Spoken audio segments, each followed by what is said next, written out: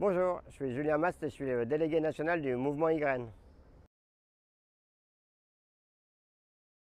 YGREN, c'est un mouvement d'éducation populaire qui a été créé en 2006 et qui a pour objectif de déployer en France le référentiel des Nations Unies qui s'appelle l'éducation à la citoyenneté mondiale.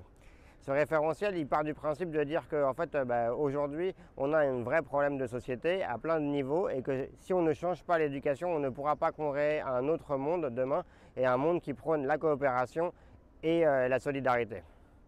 Du coup, pour ça, YGREN, qu'est-ce qu'on fait sur le territoire français? On mène des actions d'éducation à la citoyenneté mondiale. On essaye de tisser des liens avec les acteurs de l'économie sociale et solidaire qui font le monde de demain.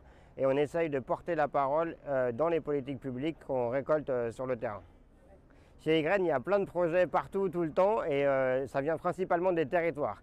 Mais on a quand même deux grands programmes euh, nationaux. Le premier, le premier programme national, c'est un univers citoyen, c'est euh, un, programme d'éducation aux migrations. En effet, aujourd'hui, les discours liés à la xénophobie, liés à tous les types de discrimination augmentent, augmentent, augmentent, augmentent. Et il est important de casser les préjugés et de reconstruire un sentiment d'appartenance à une humanité commune.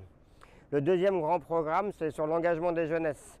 De l'engagement des jeunesses vers quoi? Vers une économie sociale et solidaire. Aujourd'hui, on sait que cette économie, elle a fait ses preuves, elle arrive à résister, elle arrive à créer de l'intérêt général.